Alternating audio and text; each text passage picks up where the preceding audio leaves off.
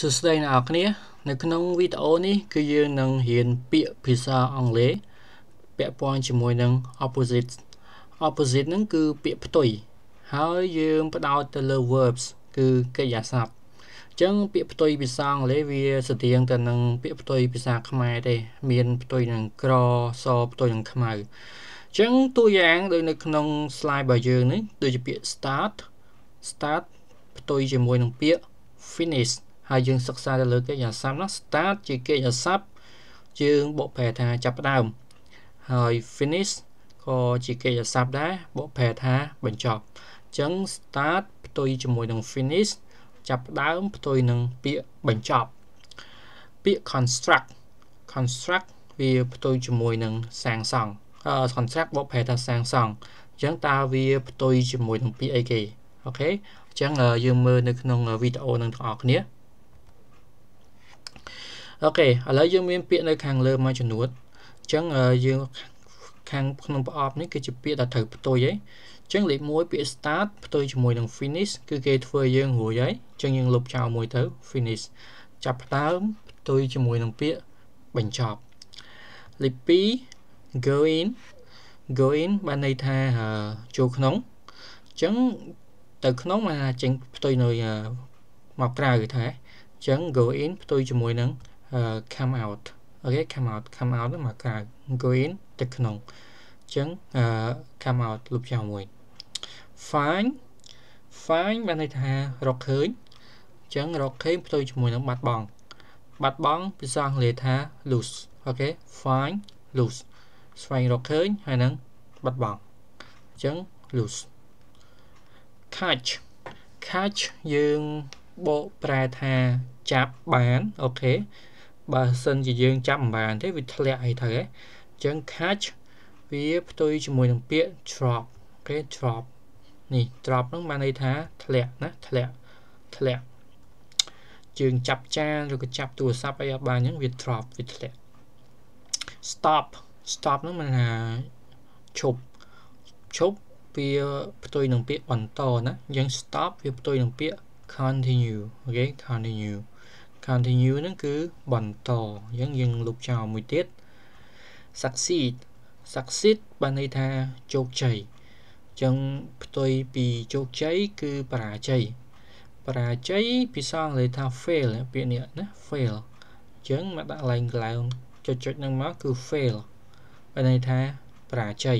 អញ្ចឹងយើងលុបចោលមួយទៀត fail បរាជ័យ race លើកឡើងលើកឡើងណា race លើកឡើងអញ្ចឹង raise លើកឡើងវាផ្ទុយជាមួយនឹងដាក់ចុះដាក់ចុះអង់គ្លេសថា lower lower ដាក់ចុះបន្ទាបបន្តិចណា lower lower your head មកណាអោនក្បាល lower your knee ណាបន្ទន់ជង្គង់ចុះបន្តិចអញ្ចឹង raise វាផ្ទុយជាមួយនឹង lower អូខេ lower អញ្ចឹងលុប lower ចោលមួយទៀតមក slide បន្ទាប់ពាក្យ buy ទិញទិញផ្ទុយជាមួយលក់ ងាយងាយទេគឺពាក្យ sell ណា buy ផ្ទុយជាមួយនឹង sell អញ្ចឹងឡើងដាក់ sell មកហើយលុបចោលទៀតទៅ depart ពាក្យនេះធ្លាប់រៀនហើយនៅក្នុងវីដេអូមុន depart បានន័យថាចេញដំណើរអញ្ចឹងពេលយើងចេញដំណើរវាផ្ទុយនឹងពាក្យទៅដល់ទៅដល់ភាសាអង់គ្លេសថា arrive អញ្ចឹង depart គឺ arrive arrive គឺមកដល់ណាមកដល់